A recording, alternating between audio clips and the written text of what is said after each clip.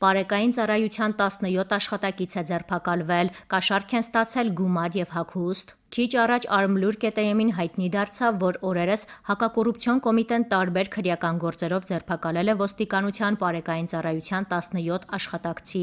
Մեծ հասած տեղեկություններով պարեկներից ոմանք ձերբակալվել են կաշառքի գործով։ Նրանք կաշառք են ստացել ինչպես գումարի տեսքով, այնպես էլ հագուստի։ Ուշագրավն այն է, որ 17 պարեկները նախաքննական մարմնի կողմից ձերբակալվել են նույն օրը։ Ավելի ուշ Արմլուր ԿՏՄ կհրապարակի այլ մանրամասներ։ Սրիկա քաղաքական անբարոյական Ղարաբաղա-Մոսկվա-Բաքվի լրագրողներ, ինչ է սա ձեր համար փաստ չէ։ Հիշեցումներ Հրապարակախոս Փայլակ Ուռուսյանն իր ֆեյսբուքյան էջում գրում է. «Մինչև հեղափոխությունը ժողովուրդը հակաիշխանական մեդիա դաշտի լրագրողների նկատմամբ մեծ հարգանքով եւ սիրով էր վերաբերվում, բայց այսօր ժողովուրդը հակաիշխանական մեդիա դաշտի ինքնահավան, մեծամիտ եւ մեծախոս տգետ եւ տհաս գարշահոտ տարածող սադրիչ եւ դավադիր մոլագար եւ ահաբեկիչ նաեւ պետական վտանգավոր ռեցեդիվիստ լրագրողների նկատմամբ լցված է անսահման ատելությամբ եւ ցասումով»։ Նույնիսկ այնքան անբարոյական անդաստիարակ եւ փողամոլ եք, երբ ասում են նախկին հանցագործ բանդան թալանել, գողացել, սպանել ու բռնաբարել է երկիրը,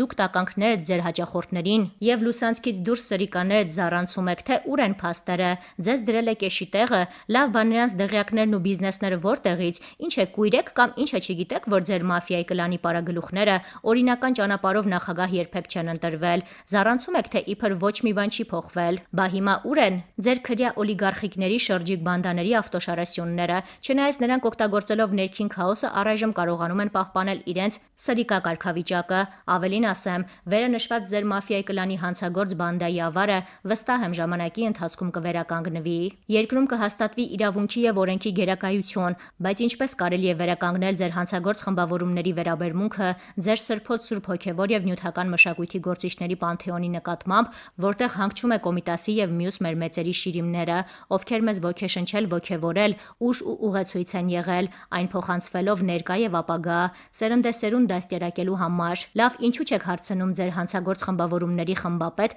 Սերժին, երբ գնում էր Անդրանիկ Մարկարյանի շքեղ եւ մեծ այգով շիրիմին այցելության, երբևիցե ծաղիկ դրել է մեր մեծերի շիրիմներին ավելին նրանց համեստ եւ աղքատ շիրմաքարերի տարբերությունը ոչինչ չի ասում ձեզ։ Իհարկե ոչ, քանի որ դուք տականք եք, ոչ մեկը նման շքեղություն թույլ չէր տա իրեն, բացի ձեր նման անբարոյական պայմաններից։ Սրիկա քաղաքական անբարոյական Ղարաբաղը-Մոսկվա Բաքվի լրագրողներ, ինչ է սա ձեր համար փաստ չէ։ Այսօր եթե պատահաբար ձեր երեխայի կամ թորնիկների հետ այցելեք Պանթեոն, դուք ինչպես եք ներկայացնելու յուրաքանչյուրի թողած ժառանգությունը հայ ժողովրդին։ Լավ կլիներ լռեիք դուք ավելի զզվելի եւ անբարոյական ստրուկներ եք, որ չեք ցանկանում հասկանալ։ Թուրքը միշտ վախեցել է հայ ժողովրդի միասնականությունից, իսկ դուք ձեր ավարը պահպանելու համար երկիրը տանում եք պարակտման։ Չի ստացվի այ ողորմելիներ, վերջապես հասկացեք, Մենք ժողովուրդն է տերը մեր երկրի։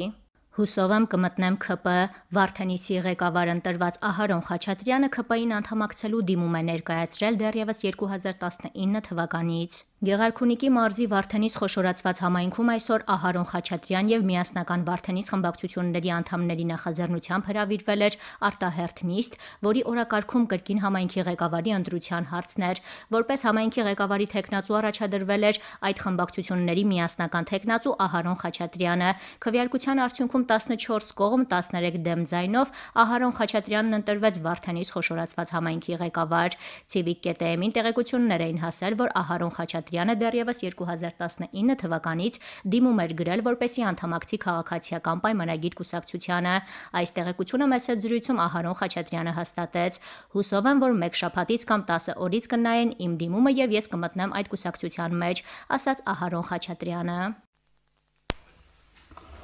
Շնորհակալություն։ Ես էլ բիզնեսից չեմ եկել, բայց ինչ որ այստեղ անում ենք ուղիղ ազդում է բիզնեսմենների վրա։ Մի բան էլ ասեմ, նոր բուն թեմային անդրադառնամ։ Եթե բերվում է ազգային ժողով որևէ նախագիծ, պետք չի դրա մասին մեզ հիշեցնել, թե վարչապետը ինչ ասել, որովհետև մենք լսում ենք վարչապետը ինչ ասում, ու ունենք կառավարության ծրագիր, ու ազգային ժողովն էլ առանձին ինստիտուտ է, որը պետք է այդ գործունեությունը իրականացնի։ Իսկ բուն ասելիքս ուրիշ բանի էր վերաբերում բանկերական, ոչ թե այս նախագծին, այլ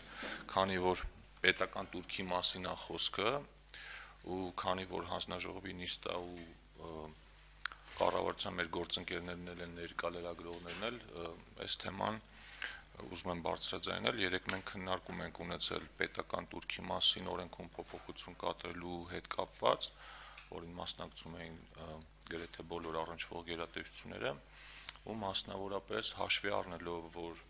այս տարի նախատեսվում է կապիտալ շինարարության բավականին մեծ ծավալներ, որի մեջ ցեմենտը բավականին մեծ կշիրա կշիռ ունի եւ հաշվի առնելով, որ 2019 թվականից ի վեր երբ մենք ցեմենտի ներկրման պետական турքեր ընդունեցինք, դրանից հետո տեղի ունեցել որոշակի փոփոխություններ, այսինքն գնի թանկացում եւ այլն, այլ ու հաշվի առնելով որ ստեղծված իրավիճակում մեզ անհրաժեշտ է ճշգրտել այդ ելակետային տվյալների փոփոխության հիման վրա երեք մեր քննարկման արդյունքում բոլորս եկանք այն համոզման, որ անհրաժեշտություն կա ցեմենտի турքը վերանայել նվազման ուղղությամբ, քանի որ պարոն Քերոփյան դուք չեք մասնակցում, ուզում եմ առիթ օգտագործելով դուք էլ ձեր նախնական տեսակետ ասեք ու ակնկալում եմ նաև էկոնոմիկայի նախարարության ակտիվ աջակցությունը, որպեսզի մենք միասին հաշվարկենք ու կարողանանք գտնել այն ճիշտ կետը, որը նոր հավասարակշռություն կբերի շուկայում։ Շնորհակալություն հարգելի պարոն Թունյան, շնորհակալություն։ Ներողություն եմ խնդրում, որ երեք չեմ կարողացել մասնակցել, որովհետև շատ կարճ ժամանակ էր հատկացված, ասենք, որոշում կայացնել, մենք էլ տարբեր միջոցառումներով շատ զբաղված ենք, բայց պատրաստ ենք այդպիսի քննարկում ծավալ։ Դες բան իհարկե ես պատրաստ չեմ տեսակետ հայտնել, որովհետև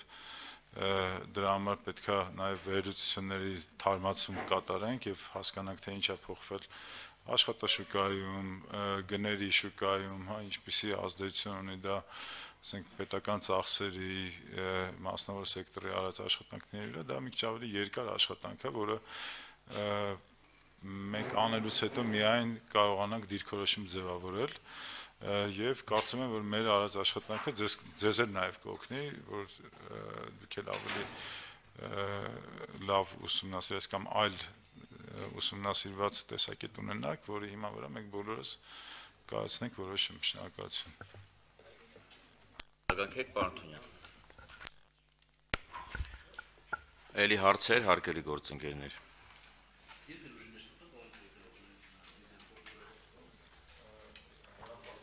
հրապարակման օրվան հաջորդող 30-րդ օրը։ Այլ հարցեր, կարծիքներ, եզրափակիչ երույթի կարիք ունեք, պարոն Թերոբյան։ Չէ, այտենց ինձ թվում է շատ համապարփակ քննարկեցինք։ Արգելի գործընկերներ, քվեարկությանը դրվում պետական турքի մասին օրենքում փոփոխություններ կատարելու մասին օրենքի նախագիծը. Ով է կողմ որ նման տեսքով նախագիծը ընդունվի։ Դեմ ձեռնպա չկա։ Ներողություն, մեկ ձեռնպա։